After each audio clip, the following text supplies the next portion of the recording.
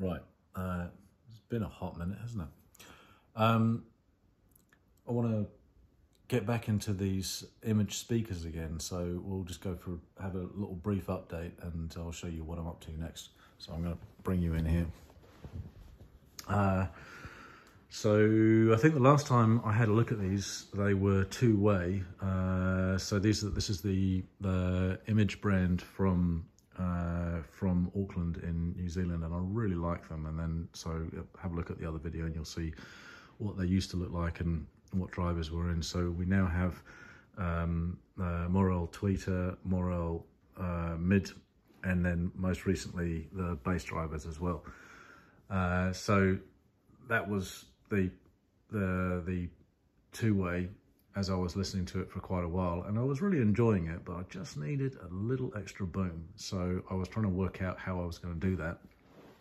And um, these drivers they're absolutely lovely but they I've firstly I, I think I've said before and I'll say it again it took a long time for these to actually come right. They were really stiff and um, quite mechanical sounding for a while and it took a while for them to to really bed in and sound their best. Um, but uh, I'm really pleased with, with how they've turned out. Uh, and then these drivers here, I say drivers because there's actually two of them. There's one down there as well. So I'll show you that. Uh, so I've got one open here at the moment. So uh, what have we got? We've got uh, 8 ohm tweeter, 4 ohm mid, um, and then this is these are 8 ohm as well, but I've actually hooked them up parallel so I get 8 ohms, I get 4 ohms out of them and you can see the other one firing downwards there. So I did that uh, for, for a couple of reasons. I didn't really want to load up the whole front with drivers and I figured it would be an interesting, you know, just looking acoustically in this room to have two bass drivers pointing in different directions to see if I could cover more frequencies. Um, so I did that and then tried to work out uh, how to do these filters. I'm just going to quickly uh, show you inside. So uh, what is it? A, a second order uh, high filter. Uh, so first cap, second cap, and then uh, the inductor across. So just a regular um, wire air coil there. At some point I'll replace that with something a bit fancier.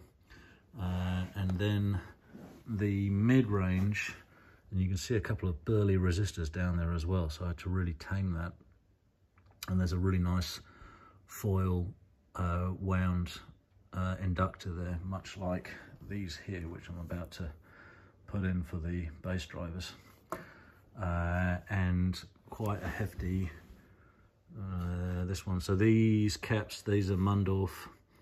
Uh, this I can't remember. And wherever that, there it is. It's uh, I think it's about 75 microfarads, that uh, cap that's uh, completing the circuit for the mid filter. And then, yeah, taming it down. so each of those resistors are about uh, four ohm resistors, give or, give or take. We've got, got about, I think, a, a, couple or a little bit more than a couple of ohms resistance, just um, taming the mid.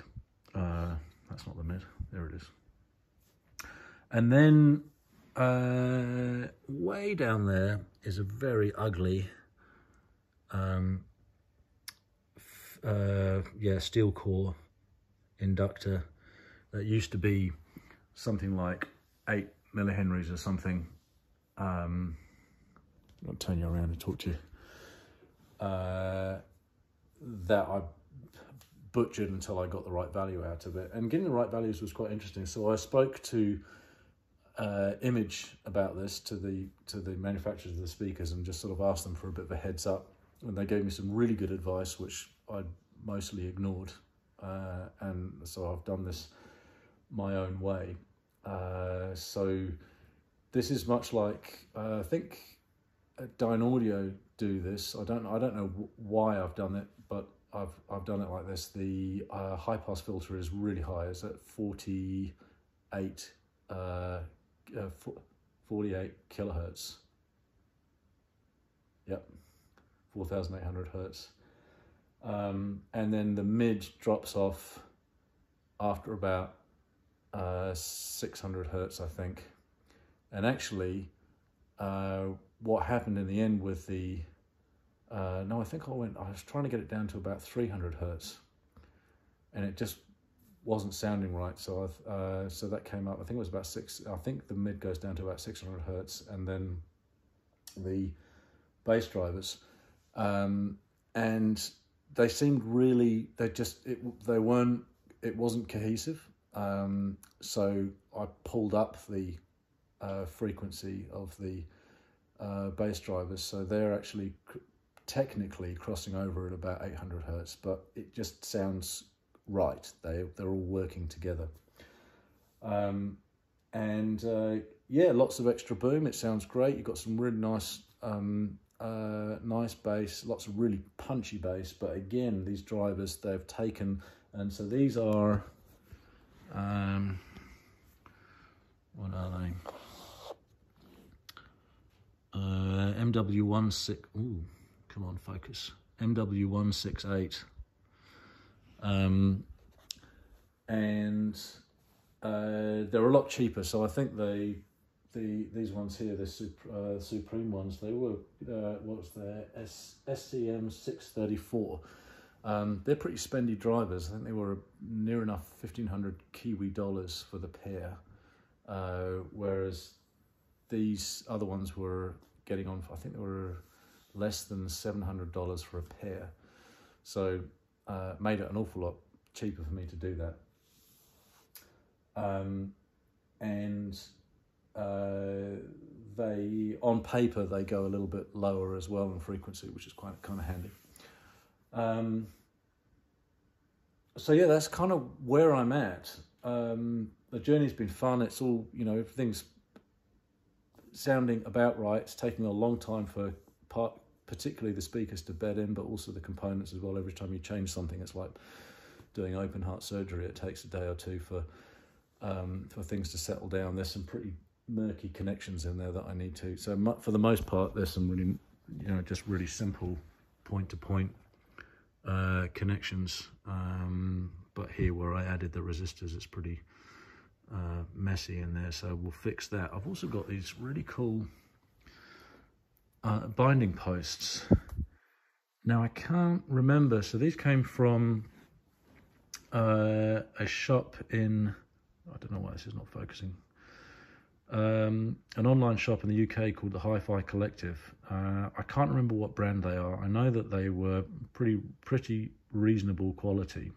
Um, they're rhodium plated, which is not really my thing. These, you know, what I would prefer right now would be um, a lightweight uh, silver plated copper, uh, you know, high quality copper with a silver plate on it. Uh, this is rhodium plated. They're really there's a lot of material there. There's a huge amount of material, but I'd like to give those a go uh, over the standard, pretty pretty uh, sort of generic looking. Uh, I think they're pretty much brass, really. Oh, can I get that to focus? There we go. That's better, isn't it? Um, so I think it might be worth swapping those over. Uh, but yeah, I think ultimately I'd prefer something, what is it, uh, KLE. They do a binding post that's mostly plastic uh, and then just has really light amounts of high grade copper with a silver plate on. And I think that's more my cup of tea but I'll make these work since I've got them. I've got eight of them, so um, uh, and like I said, they weren't they weren't cheap. They weren't horrifically expensive, but uh, we'll see how that goes. I think that might at least make a, a vague improvement. Um, and yeah, I'm sort of you know this is all starting to split hairs a little bit uh, for what it is, but I I've from experience it all makes a little bit of difference.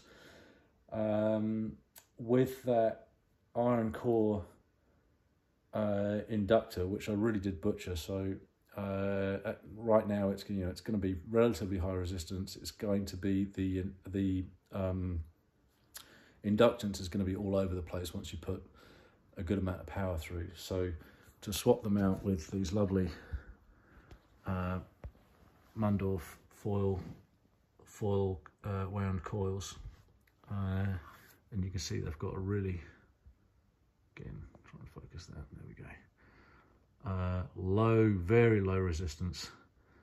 Um, so we're going to put those in there and see how that how that helps, and hopefully just it'll just extend uh, those low notes a little bit more um, and give it a, a, a dose of reality, a little bit of realism, and sort of slightly less mechanical sound at that at that low end. Um, not to say that they're not good listening to right now. I'm actually pretty pleased with them. Um, I, I'm probably doing a million things the wrong way, and certainly the filters are. Uh, well, I wouldn't say unorthodox, um, but they're they're definitely not what they should be on paper. Um, but they sound right, or or at least right to my ears. And then listening to other speakers, other unfettered, man, manufactured speakers, and coming back and listening to my own system, I sort of listen to it and go, "Yep, you know what? You're on the right track." So quite a lot of fun happening here. Um, uh, and um, yeah, I'll just keep, I'll, I'll post another one and let you know how I get on. Okay, bye.